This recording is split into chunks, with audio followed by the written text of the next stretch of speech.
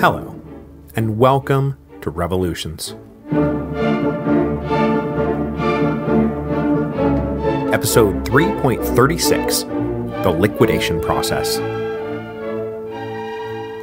So, last week was a bit of a grab bag of topics to bring everything up to speed so that we could spend today talking about the great factional battle between the Danton led Indulgents and the Jacques Hebert led Ultras in the first few months of 1794. As we established last week, this latest factional battle was fought over de Christianization and the terror. The Indulgents wanted to pull back from both, the Ultras wanted to go even further with both. Now, had the revolution continued on the path it had been on since Controller General Calonne first declared bankruptcy back in 1786, the outcome would not have been in doubt. The radical, de Christianizing terrorists would have defeated the moderate indulgents. I mean, that's the way it's always gone, right? Right. Except that since the insurrection of September the 5th, the revolution has been on a new path. So this time around, the radical ultras will actually be the first ones to go down. Not that the more moderate indulgents would have long to savor their victory, as they themselves would be led to the guillotine less than two weeks later. Because the revolution's new path is now being paved by Maximilien Robespierre, and it was a very narrow path that only he could see. The battle between the Indulgents and the Ultras burst out into the open in early December 1793 when Camille Desmoulins launched a new weekly newspaper specifically designed to counter Jacques Hebert's anti Christian, pro terror screeds. Desmoulins dubbed his new paper the Old Cordelier, clearly trying to recapture the magic of the early revolution and reclaim spiritual ownership of the Cordelier name. You see, when the original core of Cordelier leaders surrounding Danton had graduated up to running the country, control of the Cordelier Club had passed into the hands of the Sans-Culotte backed radicals, and the current president was none other than Jacques Hebert. It had to hurt Desmoulins to see the club he and his buddies had founded now perverted to serve the bloodthirsty, sacrilegious ends of the Ultras. The first issue of the Old Cordelier was published on December the 5th and was an instant bestseller. There were tons of people in Paris who had been cowed into silence by the radical fury of the Ultras, and they were thrilled to finally have someone giving voice to all their fears. The journalistic broadsides were echoed in the convention by the alliance between Robespierre and Danton that we touched on a bit last week. They both delivered speeches denouncing dechristianization and the excesses of the terror. On December the 6th, the convention passed a decree reaffirming the right to the freedom of worship, a right that was a core part of the Declaration of Rights, and a right that dechristianization clearly threatened. And I completely forgot to mention this last week, but this is the moment in history when the word vandalism enters the world lexicon. Opponents of dechristianization liken the destruction of church property with the destruction of Rome by the Vandals. So that's where vandalism comes from. In the third issue of the Old Cordelier, published on December the 15th, Desmoulins riffed off Tacitus and drew a specific parallel between revolutionary Paris and Rome under Tiberius, a time when fear and brutality spread like a sickness through a once great civilization. With the rhetorical foundations laid, the old Cordelier stalwart Fabre d'Eglantine stood up in the convention and denounced two primary carriers of the dreaded sickness Charles Philippe Ronsin and Francois Nicolas Vincent. Ronsin was the leader of the Paris Revolutionary Army, and he was just back from Lyon, where he had been a zealous accomplice of Collot d'Herbois. Vincent was General Secretary of the War Department, and he had been using his position to push for an even more rigorous application of the terror. Both were arrested December the 17th. A few days later, Robespierre gave his tacit approval to form yet another committee, a committee who would be tasked with investigating wrongful arrests. Obviously, this oversight panel would act as a check on those who wanted to turn the terror into an indiscriminate bloodbath. These sudden and surprisingly popular attacks on their position caught the Ultras off guard. But despite the flurry of attacks against them, the Ultras regained their footing just a few days later. When Collot d'Herbois heard that Ronsin had been arrested, he raced back from Lyon to Paris. He reached the capital on December the 22nd and gave a fiery speech in the Jacobin Club, denouncing what he saw as a sudden turn to spinelessness. When I left, we were united behind the goal of purging France of her enemies, and now I return to find the best and most patriotic men we have in jail? I mean, what the hell, people? This speech re energized the radicals. Collot then teamed up with his fellow radical on the Committee of Public Safety, Jacques Nicolas Billaud Varenne, and together they got the new oversight panel shut down before it even started up. So as 1793 gave way to 1794, it looked like the Committee of Public Safety itself might become a front in the war between the indulgents and the ultras, and then maybe inevitably a casualty. But then the East India Company scandal blew up and changed the whole dynamic. Because in the current political fight, Maximilien Robespierre was the critical swing vote, he had been leaning towards the indulgents, but after the East India scandal broke, he straightened up very quickly. So, what was the East India Company scandal? Or maybe we should start with so, what was the East India Company? The East India Company was first chartered by Louis XIV back in 1664 to help the French compete with the English and Dutch in the rapidly expanding Oriental trade markets. The company was given a monopoly over trade in the Pacific and Indian Oceans, but as everyone discovered over the next century or so, state chartered monopolies are a horrible, horrible way to do business.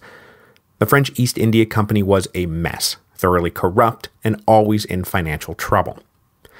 As the ministers surrounding Louis XV started to attempt some much needed reforms after the disastrous conclusion to the Seven Years' War, the East India Company was targeted and abolished in 1769.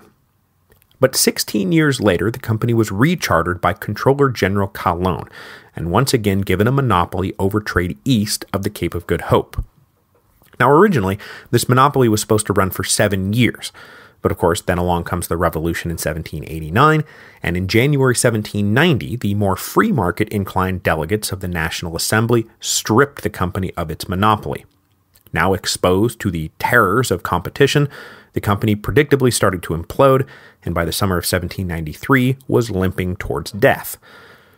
It was finally put out of its misery when the newly reshuffled Committee of Public Safety banned all joint stock companies in August 1793, and the East India Company was ordered to liquidate all its assets by January the 1st, 1794. And that is when the scandal comes into it. The scandal itself is a little complicated, but the gist of it is that with the company slated for liquidation, financial speculators with insider information started manipulating the process to reap huge profits for themselves by selling the stock short. But that, in and of itself, wasn't actually the scandal. The scandal was when certain members of the convention discovered this illegal stock manipulation, and rather than doing something about it, decided, hey, let's get in on the action. They threatened to expose the corruption and turn the speculators over to the Revolutionary Tribunal unless they were given a cut of the ill gotten gains. To make sure no one else was tipped off to this extortion, the convention committee assigned to oversee the company secretly altered the rules of the liquidation process, allowing the company to sell off its own assets rather than having government agents handle it. This would mean fewer questions about what was being sold, how much it was being sold for, who it was being sold to, and of course, whose pockets the money was actually winding up in. And wouldn't you know it, Fabre d'Eglantine was the chairman of that committee, and he was the one who signed the crooked paperwork after being promised a fat bribe. This was a fatal mistake, not just for d'Eglantine, but for all of his friends. By mid October, the fishiness of the liquidation process started to stink, and d'Eglantine decided to get out in front of things before it all blew out into the open. And that is when he went to Robespierre with the details of the foreign plot, a plot that just so happened to implicate his accomplices in the East India Company extortion racket. By coming forward first with the denunciations, d'Eglantine was briefly insulated from the scandal, because when another one of the compromised delegates came to Robespierre in mid November with his own version of what was going on, a version that implicated d'Eglantine, Robespierre believed that this was just a revenge denunciation. But then at some point in late December or early January, Robespierre was handed incontrovertible proof of d'Eglantine's involvement, probably the falsified paperwork he had signed. The incorruptible Robespierre was furious, doubly so because he had been clearly duped by the slick talking d'Eglantine. On January the 8th, Robespierre publicly denounced d'Eglantine in the convention, and on January 12th, the corrupt poet revolutionary was arrested. But always one to embrace a guilt by association mentality, Robespierre could not believe that d'Eglantine's corruption was the personal failing of just one man. Instead, it was proof that the indulgent faction he fronted for was compromised. Robespierre was only further convinced of their shared guilt when Danton stood up and defended d'Eglantine, the only member of the convention willing to do so. In Robespierre's head, Danton could not possibly be motivated by old ties of personal loyalty. It had to be something more sinister. And then, in an unfortunate coincidence of timing, just as d'Eglantine's guilt was being established, Desmoulins used the old Cordeliers to criticize the Committee of Public Safety and the leadership of Robespierre. So now we have a conspiratorial pattern. Now, Desmoulins had strayed over the line once before, but in that case, Robespierre had merely ordered copies of the offending issue burned. But by mid January, with the East India Company scandal swirling, word went round to the printers of Paris that the old Cordelier was a dangerous thing to be caught printing, and it was only after considerable delays that Desmoulins was able to get the sixth issue published on February the 3rd, and that sixth issue would also be the final issue. After just three months, the old Cordelier was killed stone dead. With Robespierre now coming to believe that the indulgents were a bunch of self serving partisans, he really started to go in for the notion that factional fighting in itself was a danger to the nation, and that everyone needed to stop the bickering, come together as one, or else. As an olive branch to the ultras, Ronsin and Vincent were released from jail in early February, and it was hinted to them that now would be a very nice time to take the high road and not seek reprisals. Danton tried to get in the spirit of things by publicly applauding their release, but then he undermined his own position by saying, hey, maybe we should let d'Eglantine out of jail too. He's a good guy, I swear.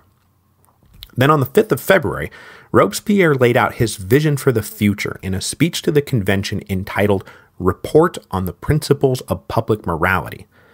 Now, I'm going to set aside the details of that speech until next week when we talk more about Robespierre's Republic of Virtue. But just to give you a heads up, as it turns out, that Republic of Virtue will only be achieved after everybody who isn't virtuous is murdered. And that has a lot to do with what comes next. But after giving this speech, Robespierre got very, very sick, and he disappears off to bed for a month. Nobody took his advice about coming together as one in his absence. As soon as Ronsin and Vincent were let out of jail, they started gearing up for a big fight. They could see the effect that the Law of 14 Frimaire was having, and saw how the Committee of Public Safety was now stifling dissent on all sides. If they didn't act now, they might never have another chance.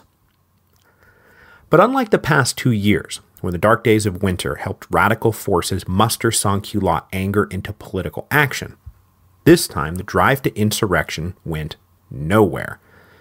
And it's not that the sections of Paris weren't getting restless. They were. As usual, there were commodity shortages in the capital. The general maximum had gone some way towards alleviating the problem of spiraling costs, but mostly it just pushed everything into a thriving black market that even the threat of the guillotine couldn't close down. So there were street clashes regularly through February that looked eminently exploitable. So from their base in the Cordelier Club, the new Cordelier Club, Jacques Hébert and the Ultras started trying to organize yet another Paris insurrection.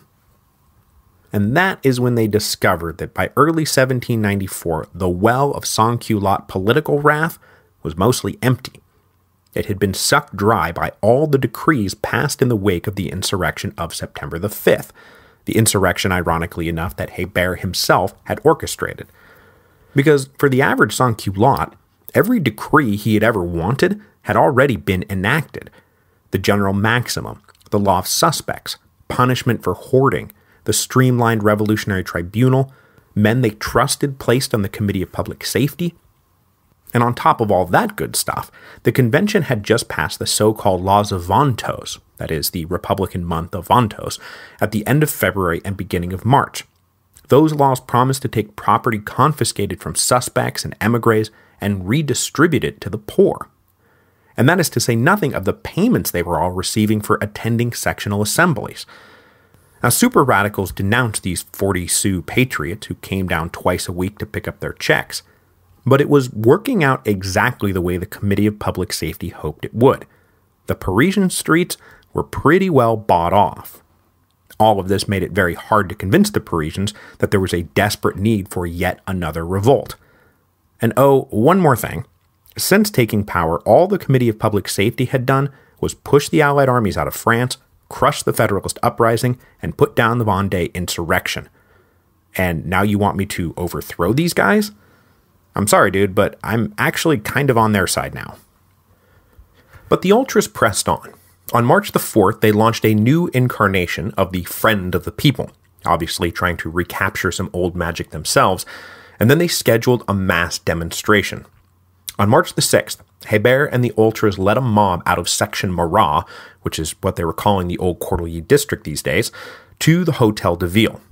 But not a single one of the other 47 Paris sections followed their lead. It was a combination of lack of interest and poor planning.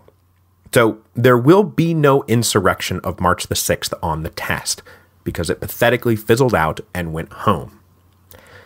While the Ultras found themselves unsupported from below, they also found themselves unsupported from above, because this was the moment that Collot D'Herbois decided it was far better to stay in power with the Committee of Public Safety than to tear it down and try to start over again.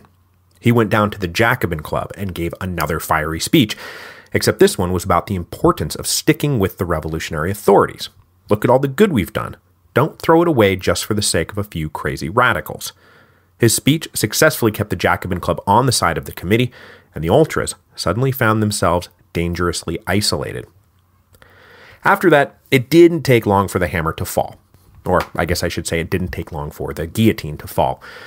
The members of the Committee of Public Safety were all collectively re elected on March the 10th, and then Robespierre emerged from his illness ready now more than ever to destroy the hated ultras. On March the 13th, Saint Just denounced the radicals in the convention as agents of a vast foreign plot to discredit the revolution. The next day, Jacques Hebert, Vincent, and Ronsin were arrested, along with a dozen or so foreigners living in Paris, including the colorful Prussian anarchist Clootz, who has been around the revolution since the early days, but who I'm just mentioning now because he's about to get his head chopped off. This group was collectively tried from March the 21st to March the 24th on charges of fomenting insurrection, intentionally inducing famine, and plotting another prison massacre, all apparently at the behest of British Prime Minister William Pitt. They were, of course, all found guilty and led straight away to the scaffold. Apparently, their executions drew the largest crowd of any execution in the whole revolution. Now, I'm surprised it drew better than the king's execution, but I guess there was something thrilling about watching men who had just spent the last year calling for everyone and their mother to be shaved with the national razor, to themselves get shaved by the national razor. Over the next week, the Committee of Public Safety completed its liquidation of the Paris radicals. Three days after the execution, the oh so recently organized Revolutionary Army was dissolved. Then, using its authority under the law of 14 Frimaire, the committee purged the Paris Commune's General Assembly of anyone it didn't like, including its president, Pierre Gaspard Chaumette, who was one of the arch instigators of dechristianization. He and another batch of radical sympathizers were arrested and would subsequently be executed on April the 13th. Just like that, the Paris Commune was put under the thumb of the Committee of Public Safety. And for the first time since, let's see, probably the flight to Varennes, the Paris Commune was subservient to the national government rather than the other way around. Once the engine of the revolution, the Paris Commune is now a broken shell of its former self. So here we are now at the end of March 1794. The terror is clearly about to start winding down, right? The law of 14 Frimaire is in place, and most of the out of control representatives have been brought to heel. Jean Baptiste Carrier, for example, has just been recalled to Paris so that he would stop doing all the terrible things he was doing in Nantes. Collot D'Herbois just reaffirmed his loyalty to the Committee of Public Safety. And in a fine and ironic twist, the most zealous advocates of the terror have just fallen victim to it. So this has got to be the end, right? You can't blame everybody for thinking this at the time, but they turned out to be very wrong.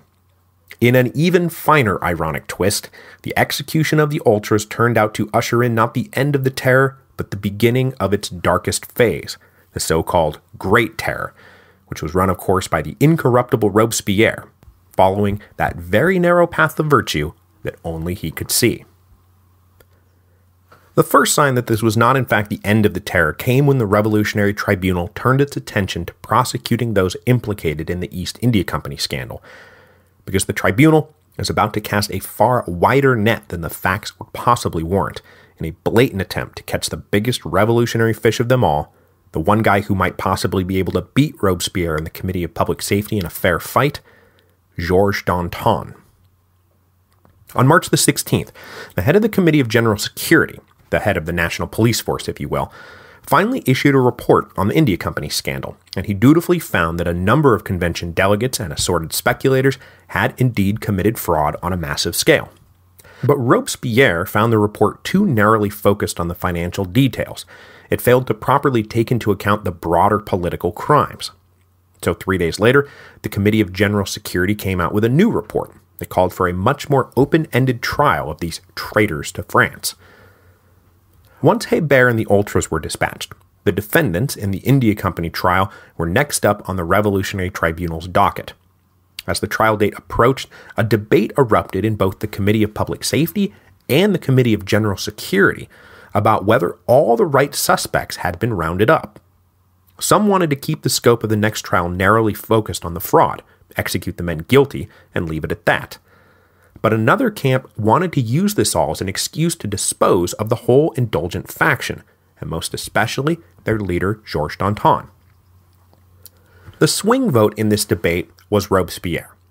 And though a lot of later historians are always ready to paint Robespierre as nothing but a poisonous little snake who you should always think the worst of, I, for one, am willing to believe he was genuinely conflicted about going after Danton and Desmoulins.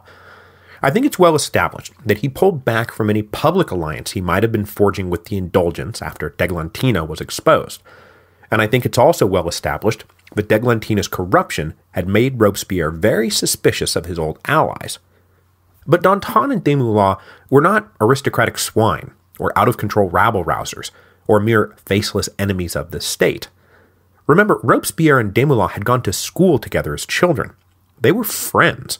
Robespierre was the godfather of Desmoulins' son.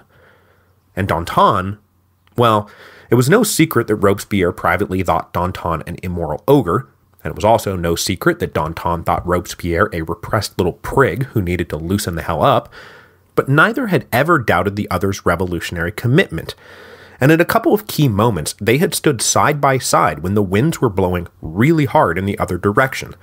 I'm thinking here of the run up to the war with the Austrians, when Robespierre was practically the only guy to oppose war fever, and Danton was practically the only guy who would stand up and defend him.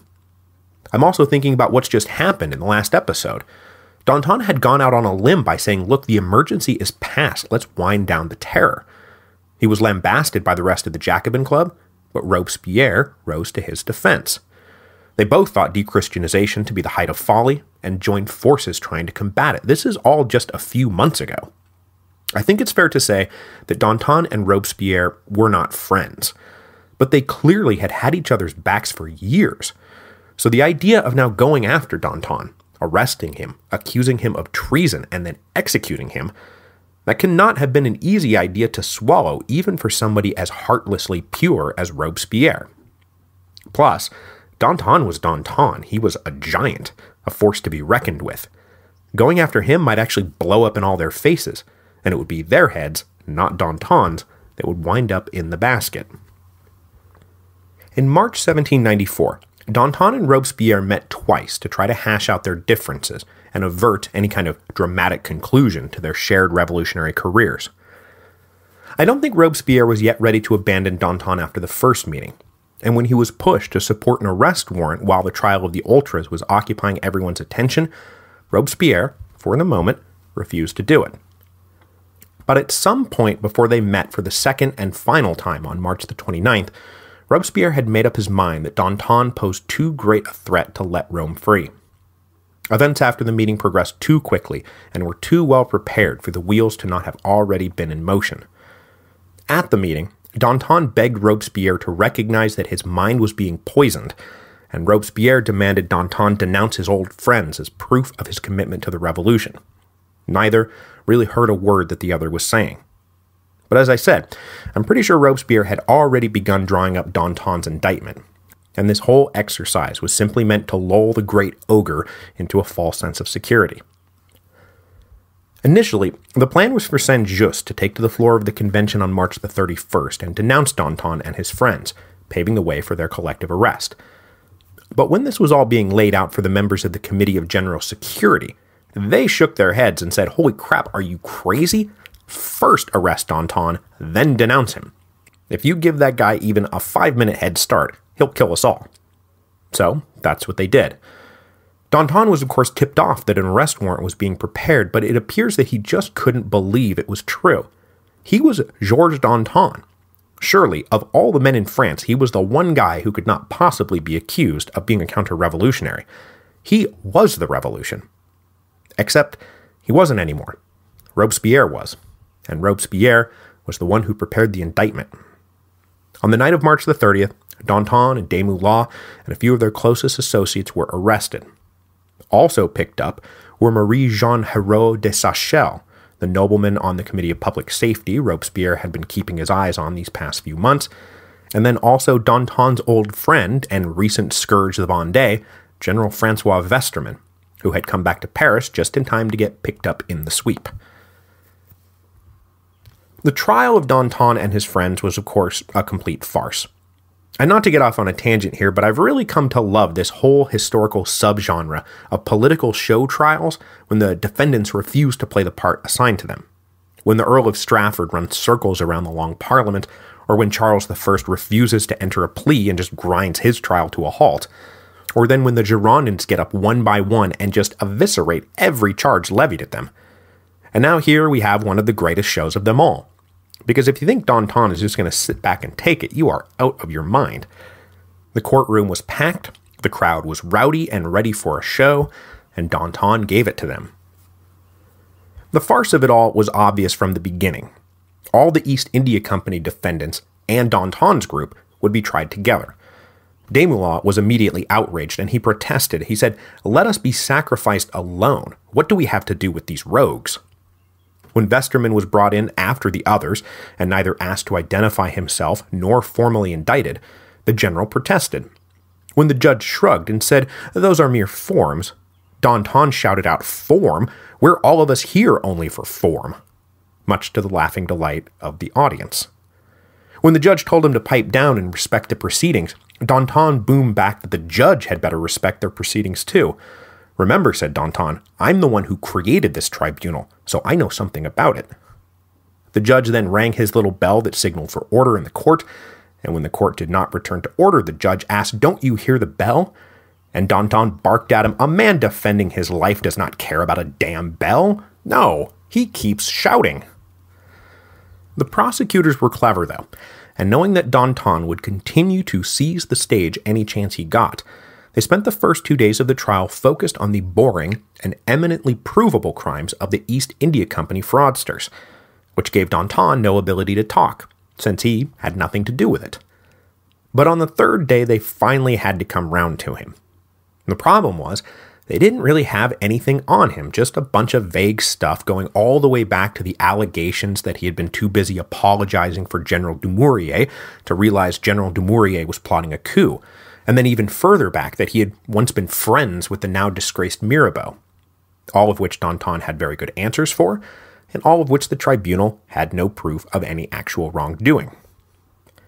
As he parried each thrust, Danton continuously counter-demanded that he and his friends be allowed to call witnesses in their defense.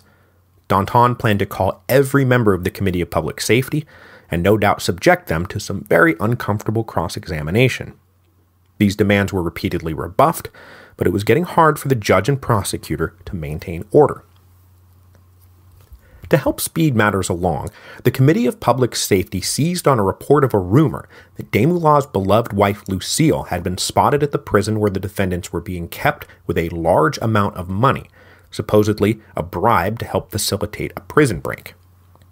Not really caring whether the story was true or not, the committee ordered Lucile arrested on the night of April the 4th, and a decree was passed that if the defendants did anything further to insult the majesty of the tribunal, that they could be removed from the courtroom. The next day, April the 5th, 1794, Danton once again got into an argument about whether or not he could call a witness, and the judge invoked the new decree. The defendants were removed from their own trial. The specially handpicked jurors were then asked to deliver a verdict, and they did. Without proof, witnesses, or the defendants present, they found everybody guilty of defrauding the nation and conspiring to restore the monarchy. An absurd verdict? Of course, but also a final verdict. As they waited their last few minutes in the conciergerie, Danton lamented the poor state he was leaving the Republic, and allegedly said, If only I could leave my balls to Robespierre and my legs to Couthon, the committee might live a little longer. At four in the afternoon, Danton, Desmoulins, Fabre d'Églantine, Westermann, Hérault, some of the most dedicated, passionate, ferocious revolutionaries were led out onto the tumbrils. These were the men who had taken down the Bastille, overthrown the monarchy, sentenced the king to death, and then defended the republic with every fiber of their being. But now it is time for the revolution to devour a few more of her children. One wonders if Fabre d'Églantine contemplated lettuce on his way to the guillotine, this after all being the 16th of Germinal, the day he had so poetically set aside for the contemplation of lettuce. De Desmoulins no doubt died fearing for his arrested wife Lucile. Not that she would suffer for long after his death, she herself would be executed just a week later. Georges Danton was, of course, the last of the group to be killed. After watching his friends die one by one, he approached the guillotine himself and told the executioner, Don't forget to show my head to the people. It is worth a look. Then zip thud, the end. Next week, we will continue to follow Robespierre as he leads France along the razor thin path to the Republic of Virtue, a republic that could only be forged by its evil twin, the Reign of Terror. And though his accomplice Saint Just had just promised the convention that the execution of the indulgents would finally, finally bring an end to the political massacres, it will turn out that they were just getting warmed up.